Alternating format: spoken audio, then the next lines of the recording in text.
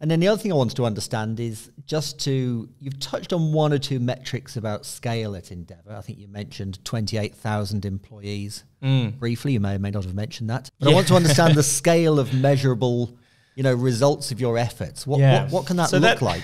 That is actually that that is the it still today blows my mind, Tim. I mean, it, it is the immeasurable size of this organization, Mm. right? Um, we this year we represent forty percent of all retail liquor.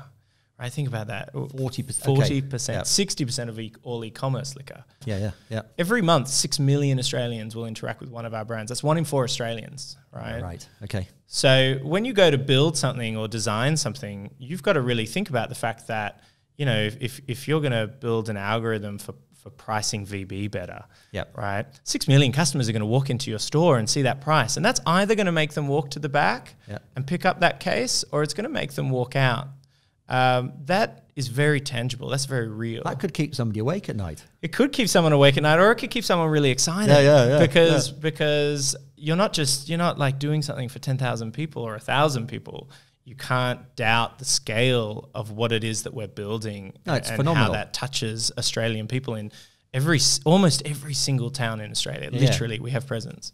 I know it's a fabric of Australian It, it culture. It yeah. absolutely is. So getting to work on those problems and think about how do we optimize the taps, right? Because Yeah, the, the the local manager at the pub might kill me at the Harlequin when I go there later, but um, you know they make the best decision they can on which taps they should have.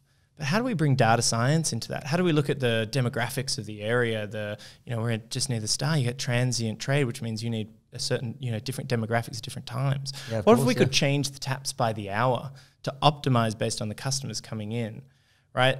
That's where we get to apply our field and, and our science to something that, you know, like I said, six million people tomorrow will experience, and that, and in hopefully, if we do our jobs well, in, Hmm. a, in a really positive manner.